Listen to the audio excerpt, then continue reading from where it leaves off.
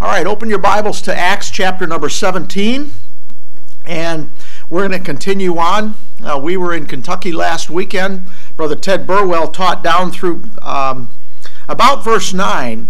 Uh, we're in the midst of Paul's second apostolic journey uh, as, he's, uh, as he's traveling and establishing Gentile churches. Um, see if we got, uh, we got a map here. He has been, he has started in Antioch and traveled traveled through. Boy, that's a kind of fuzzy there. I guess maybe because I played with it a little bit. Um, I tried to lay some of the, the darker text right over the original because you couldn't hardly hardly see it, and I'm going to have to tweak that again.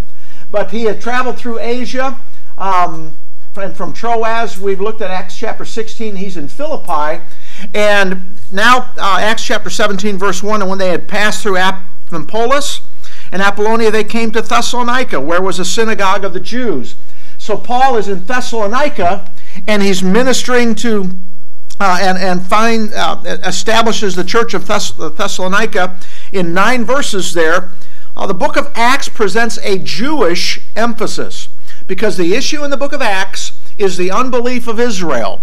And Israel's demonstrating that they're um, a, a, disobedient and a gainsaying people. And the book of Acts and Luke is not recorded as a pattern of doctrine for Gentile ministry. Now, we're, we're going to see some things in the morning service where we can learn what Paul did in the book of Acts and see some amazing things, but his doctrine is found in his epistles. Um, so he ministers in Thessalonica.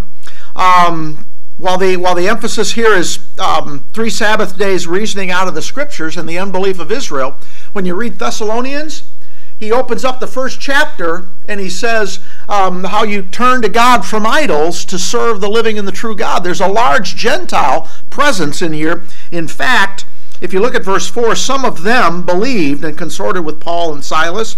Those are the Jews.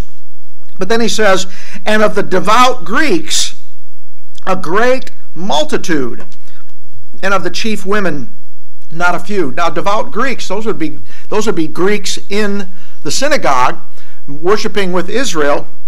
But really, the fact of the matter is, they're all Gentiles because Israel has fallen, and there's no difference. As Paul goes to goes to these synagogues repeatedly throughout the book of Acts, all of them are considered heathen Gentiles.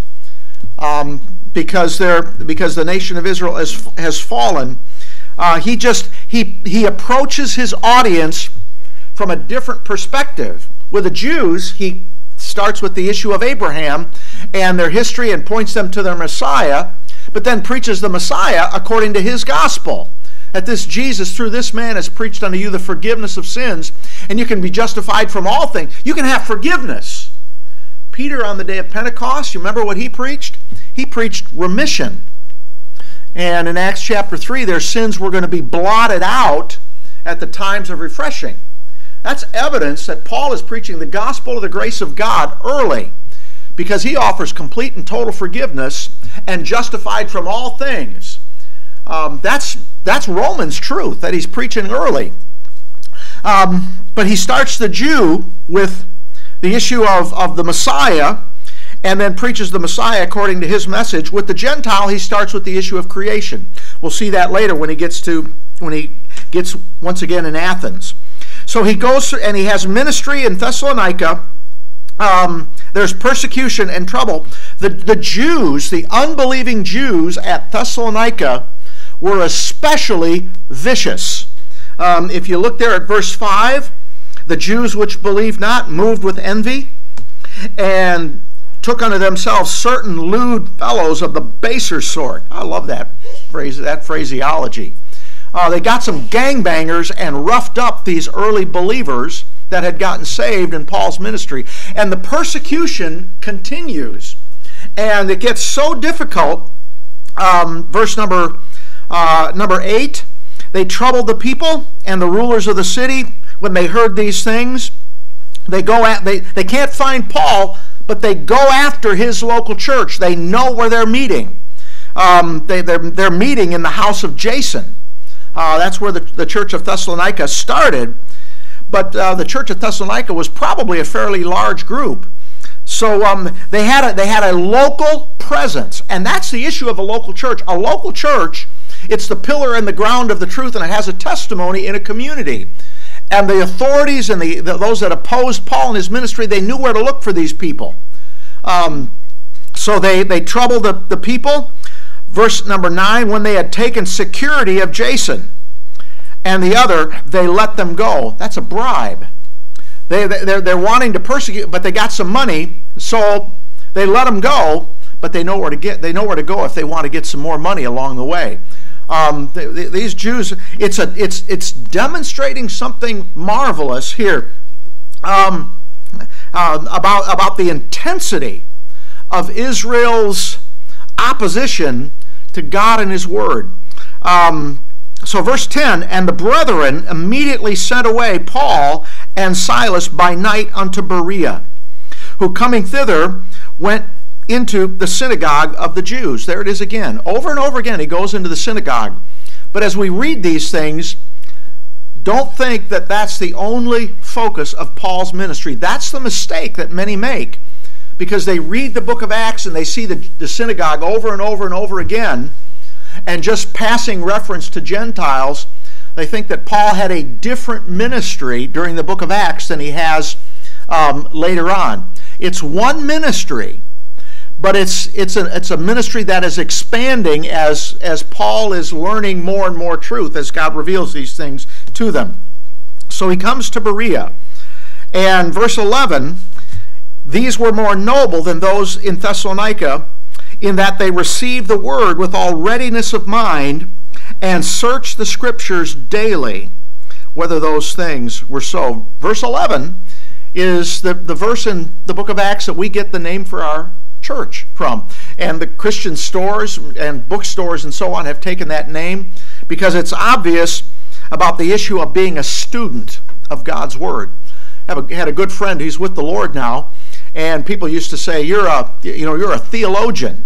He says, "No, I'm a Bible student. I just love to study the Scriptures." And here, the, there's there's different there's different individuals. Um, the, the, the real issue is the heart, regardless of, of what nationality you, you identify yourself with. Um, so this is the, the place where we get the name for our our church, the Berean Bible Church. There's two things there.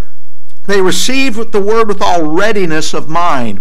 There was an attitude of, okay, I'm willing to learn. I'm willing to listen. I'm willing to, I'm, I'm willing to, um, to, to think outside the box. Problem is, a lot of times people think outside the box and they go over a cliff. Um, you should always have a teachable spirit, but then validate the scriptures um, he says, and they searched the scriptures daily whether those things were so. Now, these are unbelieving Jews, but there's a heart there that um, as, they as they hear Paul teach, they respond to the Word of God. And it's the Word of God that's the power of God unto salvation. Um, one thing that's interesting here notice these were more noble than those in Thessalonica. Notice the difference in response. He says, verse 12, therefore many of them believed. Many of them believed, also of the honorable women, which were of uh, Greeks, and of men, not a few. Almost the same language that we have back in verse 5 in Thessalonica. But notice the difference. Verse 12, it says, Many of them believed. Verse 5, but the um, well, verse four, and some of them believed and consorted with Paul and Silas, and of the devout Greeks a great multitude, and the chief women not a few. You see the subtle difference there? You have many in Thessalonica. The mindset generally was different uh, there in, in Thessalonica, and instead of eh, eh, eh, and you know, but you know they're not going to they're not going to swallow a pig in a poke. They're not going to just you know, because somebody sounds good and they know what they believe, that, oh, you know, and, and see, that's what, what happens. People get tossed to and fro with every wind of doctrine. I guarantee you, somebody who teaches has thought about what they want to teach and want to present it, at least they should, in as clear a way as possible. And they can be very persuasive. But you don't want to be tossed to and fro um, with every wind of doctrine. Um, that's what society does. Um, this, this, is interesting. Go to chapter chapter 17. Just jump ahead a little bit. Um, let's see. Where is the verse here? Um,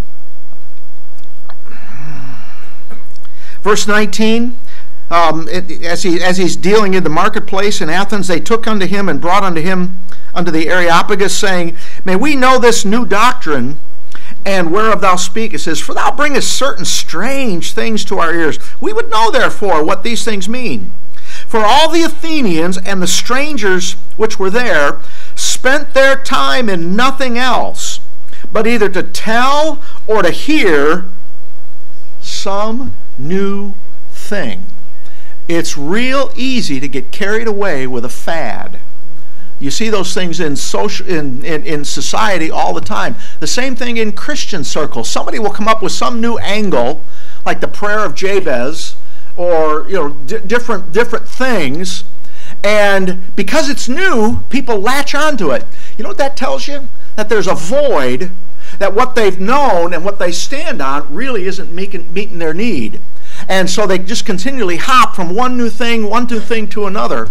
Um, you don't want to be that. You want to know what you believe and why you believe it, but be grounded firmly in it and uh, have it confirmed with the scriptures. That's what these Bereans were. Um, they searched the scriptures daily, whether those things are so. Daily intake, intake of Bible doctrine is critically important. You don't want to just live on what you get on Sunday morning. And you don't want to just you don't want to just ride on another man's nickel. you know, it's real easy today. There's we have information in so many different places on the internet. Um, you know, CDs, and uh, in my day it was cassette tapes. Anybody remember cassette tapes? Okay, you still you, eight track, but eight track you didn't have. They didn't record and duplicate. The eight tracks used to be where you got your rock and roll you know, and uh, um, all, all, that stuff. But cassette tapes, I remember, boy, if you had a cassette tape player in your car, you could listen, you know, to, to music, but you could also listen to preaching. What a, what a great thing. And you need to listen and learn from other people. Um, but you also want to feed yourself. Personal intake of Bible doctrine, making the truth your own, is where real growth takes place and uh, they searched the scriptures daily whether those things were so 2 timothy 2.15 says study to show thyself approved unto god uh, 1 timothy chapter 4 verse 16 take heed unto thyself and unto the doctrine um, he even tells the ephesian elders i believe um, uh, watch and, and take heed to yourself and to feed the church of God personal intake of Bible doctrine is important. I hope you're I hope you're readers of the Bible, um, because as you as you read the Bible and discover things for yourself, uh, there's there's a specialness about that. These Bereans were, were marvelous in, in that way. So they searched the scriptures daily whether those things were so. What are they searching? What are they if they what scriptures are they searching? The New Testament hasn't even been written yet, has it? Paul used the Old Testament. And if you read Acts chapter 13, he gives that history lesson and and goes all the way through the Old Testament to point Israel to the fact that their Messiah was Jesus Christ. And he he brings the, he brings Israel. What does Israel need? What did, what do they need in Matthew, Mark, Luke, and John? They needed to know that Jesus was the Christ. And so he brings them to that point but he doesn't just stop there. Um, people today think that uh, that's all Paul taught in the book of Acts. Um, not so. But with a Jew, he had to he had to establish because Jesus Christ was a cuss word, kind of in those days. He was looked at as a religious nut, a religious zealot. Um, he, he was rejected by his own people. So Paul had to first demonstrate to those Jews that Jesus Christ really was God's Son. But then he took them beyond his gospel. That he gave his, he didn't just come to save his people from their sins, he gave his life a ransom for all to be testified in due time. And every man can, can receive the forgiveness of sins um, through belief and faith in him. So it's, it's just wonderful there. Um, it's natural that he would use the Old Testament. In fact, the, the great statement on the gospel, 1 Corinthians 15, Paul says, I delivered unto you first of all that which I also received, how that Christ died for our sins. What? According to the Scriptures, and that he was buried, and that he rose again the third day, according to the Scriptures. But Paul taught, he took, he took the event of Calvary, which was according to the Scriptures, and expanded it according to his gospel message and, and program. So um, the, these Bereans were, were wonderful Bible students. Be a student of God's Word. Verse 11 These were more noble than those in Thessalonica, in that they received the Word with all readiness of mind and searched the Scriptures daily whether those things were so. So they're, they're checking out Paul's message and have to line it up with the events. And oh, yeah, this Jesus really was the Son of God. Therefore, therefore, verse 12, many of them did what? Believed. What did they uh, what, what did they do first? They searched the scriptures. Now there's something about this. This demonstrates the point of Calvinism. Calvinism says that man is so dead in trespasses and sins, he cannot believe the gospel. Therefore, because it's Calvinism, the underwriting principle of Calvinism is God selects by sovereign choice before the foundation of the world who's going to be saved and who's going to who's going to be lost. And because they're so dead in trespasses and sins, they can't believe the gospel, and they also believe faith is a work. They believe that if you, if you can believe the gospel, somehow you can boast, well, I believe the gospel. You know, and that, therefore it's a, materi- a, mater- a meritorious work. Um, is acknowledging that you can't do anything and that you're a sinner and dead in trespasses and sins and the judgments, the, the, the wages of sin is death, and I can't save myself. Um, is that doing anything? That's resting in what God says, and you receive eternal life as a free gift. Now, the interesting thing here, the, the, the Calvinist says that God has to regenerate the person, that is, give them the faith, then they believe the gospel, and everybody else kind of goes on in their darkness, you know, just getting what they deserve because they couldn't believe. Now, the, the interesting thing about here is if you want to talk about faith, where does faith come from? Can you think of a verse? I know Jim knows a verse. It's a verse we use use on our radio program. Um, Romans 10 17. Where does faith come from? Faith cometh by hearing, and hearing by the Word of God. So, what, what you see here, and you see that in Paul's epistles. Let me remind you, go back to Acts chapter 13. Acts chapter 13. Paul has ministry here in Antioch, um, and he, he's ministering in the Sabbath day. Um, the congregation breaks up, and the Gentiles say, Hey, we want to hear this again next week. They've been hearing what Paul is preaching. Um, they gather the next week, and Paul preaches once again. Verse number 48. 1348. When the Gentiles heard this, what they hear? That Paul has a new ministry out among the Gentiles. They've been listening, listening to him preach. When the Gentiles heard this, they were glad and glorified the word of the Lord, and as many as was ordained to eternal life believed. A Calvinist takes that verse and says, Well, see, God ordained people to believe and get saved. Well, you forget what's been, what's been leading up to this. These people have a positive heart. They're listening. They're eager to learn. God put the power in the message, beloved. Hebrews chapter 4, verse 12 the Word of God is quick and powerful and sharper than any two edged sword. Romans chapter 1, verse 16, Paul says, I'm not ashamed of the gospel of Christ, for It is the power of God unto salvation.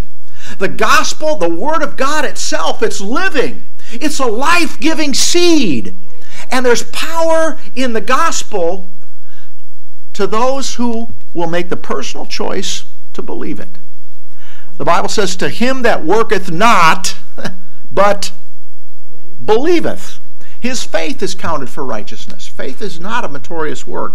So, these people ordained to eternal life, that's a, that's a verse that talks about structure and order. The word ordained, to put in order. I love the order. They hear, the, the Word of God bears witness to them, and they believe it. As many as were ordained to eternal life believed. Chapter 14, verse 1. They came, came to pass um, in Iconium that they went both together into the synagogue of the Jews, and so spake that a great multitude of the Jews and also the Greeks did what? They believed. See, the issue of the Word of God. Hebrew, um, Acts chapter 15, Acts chapter 16, Lydia. We looked at Lydia here a couple weeks ago. And um, see, these are all verses that a Calvinist will use to demonstrate that God has to give people the faith in order to believe. Lydia, uh, verse 14, a certain woman, Acts 16 14, named Lydia, a seller of purple of the city of Thyatira, worshiped God, which worshiped God, heard us, whose heart the Lord opened that she attended unto the things which were spoken by Paul. See, God had to open her heart so she could believe. Well, she, she's already a Jew. She's in a Gentile city. She's regularly going outside the city to pray.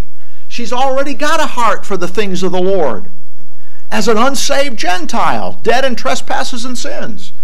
But see, the book of, book of Acts 17 says that they might seek the Lord. The Bible doesn't say um, there's none that can seeketh after seek after God. It says there's none that, that do. Well, here you have some people that, that, that have that, that mindset and they respond to the Word of God. You see the same thing in, in the in the um, in Thessalonica. Um, they receive the word with all readiness of mind. They're searching the scriptures daily, whether those things were so. Therefore, verse 12, 17, 12, Many of them believed. The word therefore, why did they believe? Because they searched the scriptures and God's word bear, bear witness to their heart. And where does faith come from? Faith cometh by hearing, and hearing by the word of God. So it's, it's, it's a subtle thing, but it demonstrates that, see, the, the issue of volition, we've been teaching about these institutions in, uh, uh, you know, volition and marriage and family and nationalism, the very first thing God did was give man the ability to choose. He told Adam and Eve, we told Adam, and then Adam kind of watered it down as he ministered to his wife, uh, commanded the man, saying, Of every tree of the, uh, in the garden thou mayest freely eat, but of the tree of the knowledge of good and evil thou shalt not eat of it, for the day thou eatest thereof thou shalt surely die. See, man is accountable and responsible to just believe what God says and trust God. So um, the, there's there's some lessons there. Now let's move on. So they searched the scriptures daily whether those things were so. Therefore, verse 12, many of them believed, also of the honorable women, which were, were which were Greeks, and of men not a few. So we really only have three verses here about this church in Berea. And and uh, so, so we don't have a lot of information in the book of Acts. We don't have the epistle to the Bereans, but the Berean church here is one of those Macedonian churches. You got Thessalonica, you've got Philippi in that region, and you've got Berea. And so Paul, we don't have to have an epistle of every single city and church where Paul went and ministered. But um, we can take we can take the, uh, the information we do have in some of these other churches, and Paul certainly that's what he what he taught there at Berea. So it, it's a it's a marvelous thing. So therefore, many of them believed of the honorable women, and of, which were Greeks, and of men not a few. So the church at Berea is established. We've just had the church at Thessalonica established. Chapter 16, we've had the church at Philippi established. Paul is permeating the region there, the area of Macedonia, and establishing local churches in these individual cities. Now, notice verse 13. This is something that's kind of interesting, too. You know what the number, you're going to, you know, thir- the number 13? Um, 13 in the Bible, it's interesting. Biblical num- numerology is kind of interesting. 13 is the number of rebellion. And here you have a 13th verse. Um, but when the Jews of Thessalonica had knowledge, had knowledge that the word of God was preached to Paul at Berea. Now look at you've got you got Thessalonica and you've got Berea. Those are two cities that are extremely close together. I don't know what the actual distance is, but how did how did the Jews at Thessalonica that just ran Paul out of town, how did they hear that the same thing is going on just next door in Berea? It must mean those Thessalonians were busy preaching the gospel. And we're going to see that in, in the morning service here. Um, the Thessalonians, it says, the word of God spread, sounded out the word of the Lord. And what you see is those same Jews that got those lewd fellows of the baser sort and assaulted the house of Jason and persecuted that church at Thessalonica.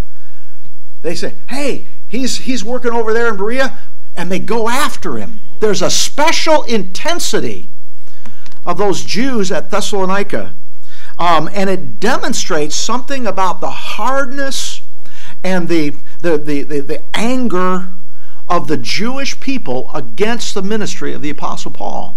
And we see in the book of Acts, first Israel's envy and hatred for the little flock in Jerusalem. Remember? All those people, that, that ministry grows, and all those Jews are, are, are, are living there in Jerusalem. And the leadership in Israel, the scribes and the Pharisees, the builders that had stumbled at that stumbling stone, begin to raise persecution and drive that church out of Jerusalem, and they scatter. That's intense hatred. Well, you see the same bitterness and anger from God's chosen people who were to be a light to the Gentiles. And a light, you know, in, in, in God's plan and purpose, causing, hindering things. Acts 13, Paul's first miracle. There was a Jew that sought to turn the deputy away from the faith. The book of Acts is showing us by these, by these events, it's demonstrating some things about what's taking place on a, on a, on, in a bigger picture here with the nation of Israel and with Paul's Gentile ministry. There's, some, there's something interesting here. Go to the book of First Thessalonians and look at these, these Thessalonian Jews. First Thessalonians chapter 2. 1 Thessalonians chapter 2 and verses 14 to 17. Here is some doctrine in Paul's epistles that explain some things in the book of Acts. You read the book of Acts in light of Paul's epistles, not Paul's epistles in light of the book of Acts. Paul writes to those Thessalonians. Now think, think in your mind about the intense persecution that was there and the Jews driving Paul out of the city. Um, one of the underlying themes of Thessalonians is they were a suffering church uh, tremendous persecution there. Verse 14 For ye, brethren, became followers of the churches of God in Judea, which are in Christ Jesus. Now you stop and you read that and you say, Followers of the churches of God in Christ Jesus, which are in Judea. That's the little flock, isn't it? Now, the thing is, he's not talking about you followed them in doctrine. He's not saying you guys believe the same thing. What he's saying is you became followers suffering the same things that those churches in, in Judea suffered of the Jews. Now he says in Judea, which were in Christ Jesus, for ye have suffered. He's not talking about following them in doctrine. You have suffered like things of your own countrymen. The Gentiles were, were together with the Jews persecuting the Thessalonians here even as they, the churches of Judea, have of the Jews. Those Jews in, in, in and around Jerusalem were suffering at the hands of their kinsmen. The, the Thessalonian church were suffering at the hands of the Gentiles and the Jews. And he's saying, You're suffering those things. Now look at verse 15. the Jews, the end of verse 14, who both killed the Lord Jesus and their own prophets. There's your Old Testament history, right? You have, you have faithful people in Israel, but you have the prophets rising up and protesting and trying to call the nation to repentance. And what happened? Jeremiah got thrown in jail and, and the, the, the prophets were persecuted. They didn't like the, the, the call to repentance. They persecuted, they killed the Lord Jesus and their own prophets and have persecuted us. And they please not God and are contrary to all men, forbidding us to speak unto the Gentiles. The Jews were the chief opponents of the new program going out among the Gentiles. Now, the Gentiles fought against it too. We saw that in Philippi, right? The, the, the, the guys who were using a little girl as a sorceress and witchcraft and all that stuff, their meal ticket was taken away from them. But as you read the book of Acts, it's obvious that the Jewish people, it's the Jews that got Paul arrested in Acts 21, and it's the Jews that chased him all the way through Caesarea and, uh, and before the, the, the monarchs Agrippa and Festus, wanting this, he's not fit for this man to live. They're hindering God's word going out. Notice verse 7, 16 forbidding us to speak to the Gentiles that, that they might be, be saved to fill up their sins always. For the wrath has come upon them to the uttermost. Well, interesting. I thought the wrath of God was the tribulation period. Well, it is. But here, it, it talks about Israel's opposition. They kill the Lord and they're opposing Paul, he says he uses this phrase to fill up their sins always. It's like it's as though God God sits back and he watches and he watches sin begin to manifest itself and manifest itself and manifest itself and finally it reaches a point where he does something about it. Fill up their sins always. Go back to the book of go back to Genesis chapter 15. There's a phrase like this um, back in back in the book of Genesis, as the Gentile nations go on in their darkness and their unbelief, after God calls out Abraham, you see some things running parallel. Look at this promise that God makes to Abraham. Genesis 15, verse 6 is where he believes the promise about the, the stars in the sky. So then they have this, this promise down in verse 13. Then he said unto Abraham, Know of a surety that thy seed shall be a stranger in a strange land that is not theirs, and shall serve them, and that shall and shall afflict them four hundred years. Here's a here's a preview of what the rest of the book of Genesis is about, and the affliction that Israel when they go down into Egypt, um, Jacob and the and the and the descendants of Joseph and that nation grows there, um, will afflict them 400 years and also that nation whom they shall serve, that's the Egyptians, will I judge. And afterward they shall come out with great substance. There's a prediction of the Exodus. And thou shalt go to thy fathers in peace, thou shalt be buried in a good old age. It's going to take some time for this process to run its course. Verse 16 But in the fourth generation they shall come hither again, for the iniquity of the Amorites is what? Not yet full. Now, they, think of how young civilization and everything is here. You've only got, you know, a couple thousand years, and he started over after the flood, and he started over after the Tower of Babel. He says the, the, the iniquity of the Amorites hasn't reached its fullness yet. But it, it, it, indicates that it will at some point, and God will begin to work, and He'll take Israel out of Egypt and begin to use them to you know, as an instrument going to conquer the Canaanites and the Amorites and the Hittites and the Perizzites and the Hivites and all those ites, and he's going to purge out the land and establish his nation. But he says their iniquity is not yet full. Go up to go, go to go to Matthew chapter 23. The Lord says the same thing in the shadow of the cross. Matthew chapter 13. I believe it's Matthew chapter 13. Yeah, verse 29 to 36. Matthew chapter 23, from verse 13 on, the Lord is, is speaking directly to the scribes and Pharisees. You hypocrites, you bunch of snakes in the grass, you generation of vipers, um, you fools and blind. And he's just blistering these people. Verse number 29, Matthew 23 29. Woe unto you, scribes and Pharisees, hypocrites! because you build the tombs of the prophets and garnish the sepulchres of the righteous. Yeah, they had a sense of history. They honor the prophets. but look at what the Lord says and say, if we had have been in the days of our fathers, we would have not been partakers with them in the blood of the prophets. Oh, not us. We would have honored the prophets and we would have recognized the prophets. But our, you know, our, our forefathers, they were, they were awful. What's that? What's Donna? Matthew 23, verse 30. If we had been in the days of our fathers, we would have not been partakers with them in the blood of the prophets. Verse 33. Look what the Lord does. Wherefore ye be witnesses unto yourselves, that ye are the children of them which killed the prophets.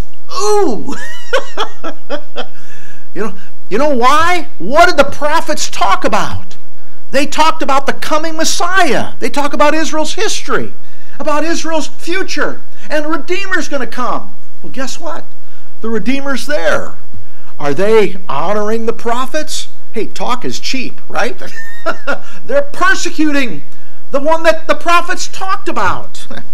he says, Ye be witnesses unto yourselves that ye are the children of them that kill up, killed the prophets. Verse 32 Fill ye up then the measure of your fathers.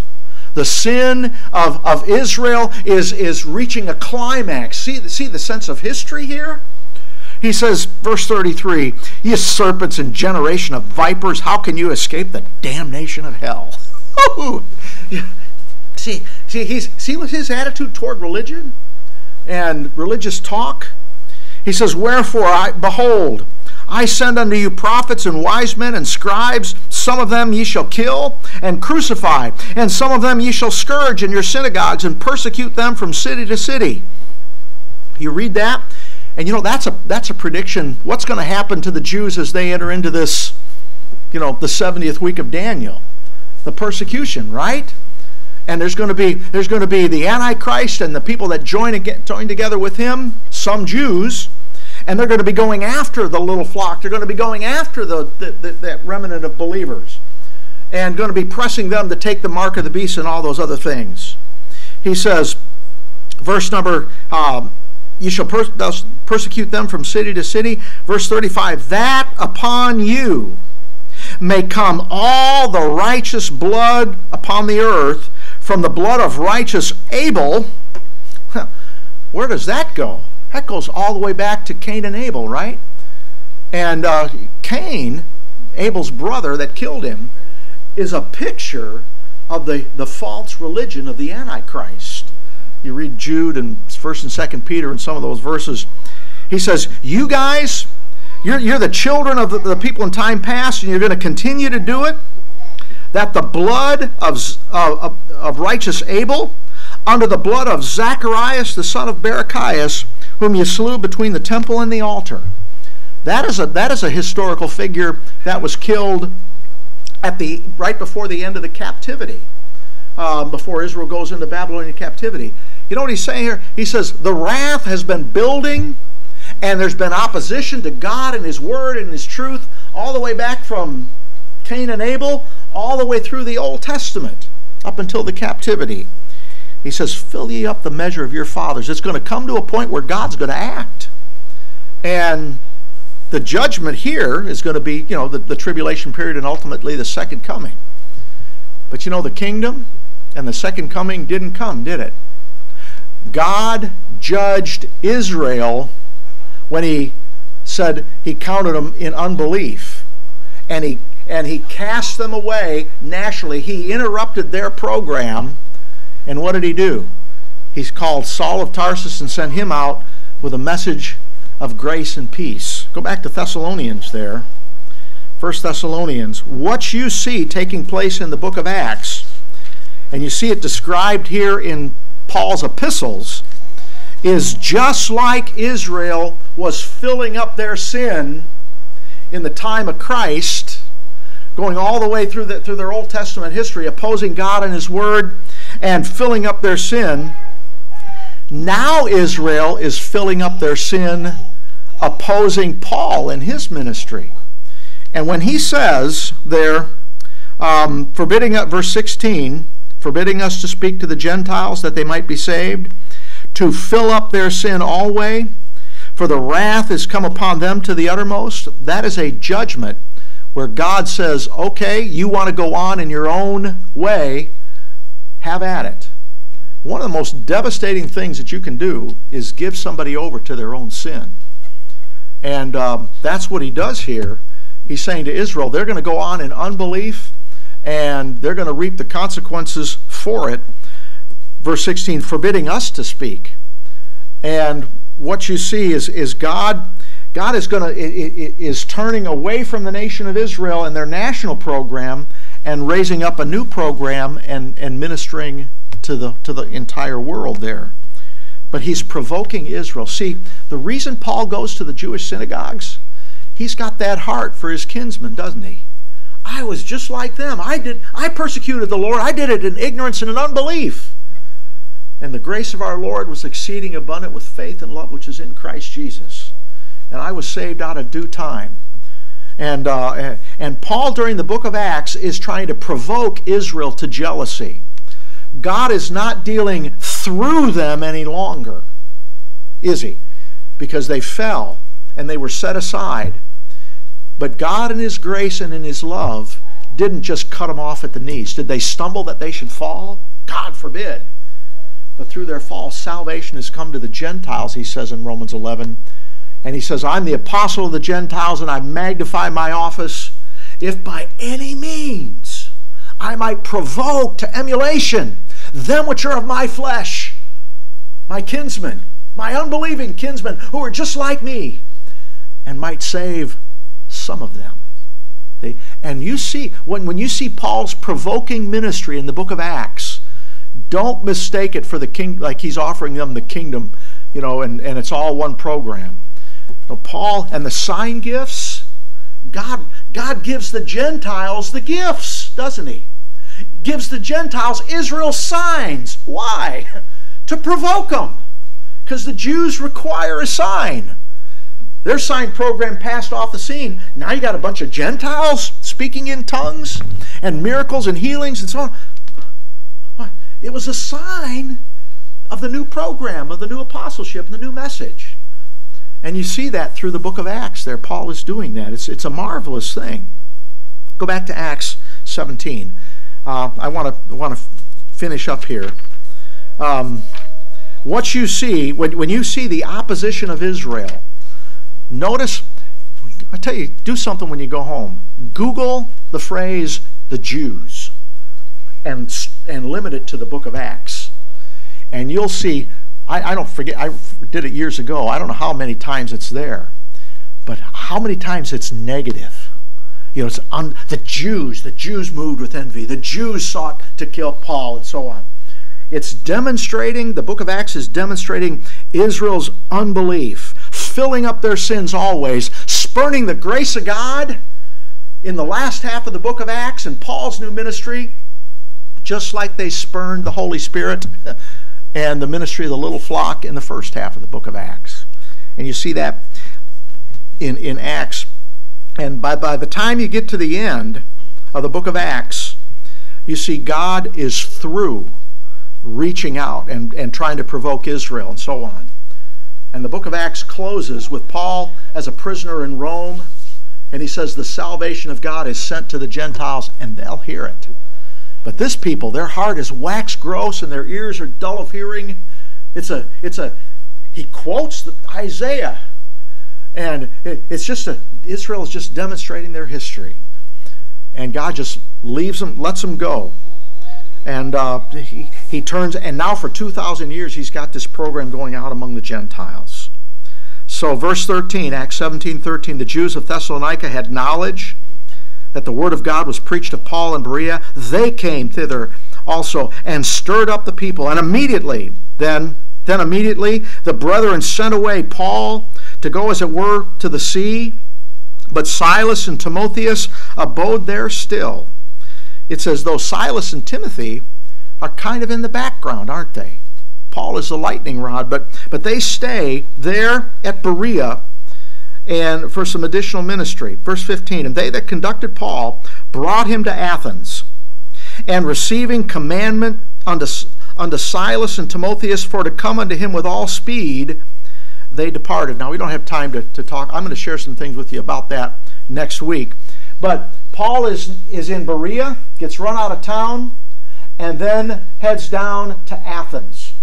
And now, the rest of Acts chapter 17, we have Paul's ministry at Athens, um, the center of, of uh, education and, and philosophy and um, high, uh, learning there in the, in the Greek Empire, a key place and we're going to see Paul's ministry and approach in the Gentile world again.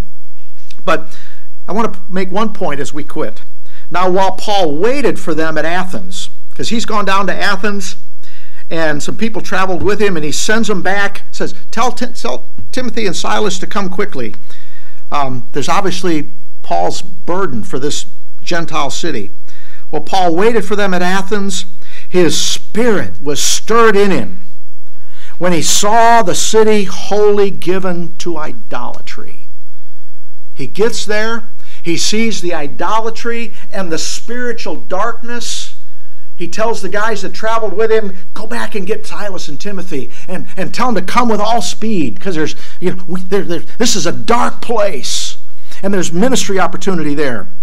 Verse 17, therefore disputed he in the synagogue with the Jews there's the Jewish synagogue once again. And with the devout persons and in the market daily with them that met with him. Got public ministry there at Athens, and he's waiting for Timothy and Silas to come and help him. There's this great opportunity there. But I want you to notice verse 16. Paul got stirred up when he came to Athens. What stirred him up? Idolatry the spiritual darkness stirred Paul up, not the politics, not the immorality and the darkness of the culture. He got stirred up when he saw the spiritual darkness there. And it energized him to do what? Go to City Hall? no. Go in the marketplace and do what? Preach the gospel. May God help us to get stirred up yes, there's a lot of things in our society and in our history and in our culture that's that's falling by the wayside. And I'm grateful for people that, that want to be out there and and fighting for liberty. But you know, let them have at it. I'm grateful. but what do we need to be? What battle need we be fighting? The issue of the truth. We're not going to save the culture. We're not going to redeem society God's given us the opportunity to rescue the individuals out of that darkness and give them life in Christ Jesus through the gospel. May the spiritual darkness stir us up to be about what God has given us to do. Amen? And uh, if we get stirred up by the other stuff, God help us if we're not twice as stirred up about this stuff. Amen? Because what's God's will? That all men be saved and come into the knowledge of the truth. I love that. I love that. Um, and uh, well, there's more I could say about that. But do you have a question or a comment? Okay. Do you understand that thing about filling up their sins always and provoking? That's what Paul's doing in the book of Acts. He's not preaching the kingdom gospel. He's not ministering to the little flock. God is through dealing through Israel you know, in the kingdom and the covenants and the promises, but he's not through dealing with Israel. Paul is out there with a heart for his kinsmen, trying to save some of them into the new program. Okay? All right. Father, thank you for the opportunity to study these things. We, we thank you for your word and how exciting the book of Acts is as we see these things transpire. And that we thank you for the color that we can fill in and the, the, the, commentary that we can fill in as we go to his epistles and understand what his ministry really is, what he's preaching and teaching. And Lord, may we be instructed by these things and the example of our apostle to be about what you've given us to do in our dark world, that we might shine as lights and hold forth the word of life. We thank you. It's in Christ's name we pray. Amen.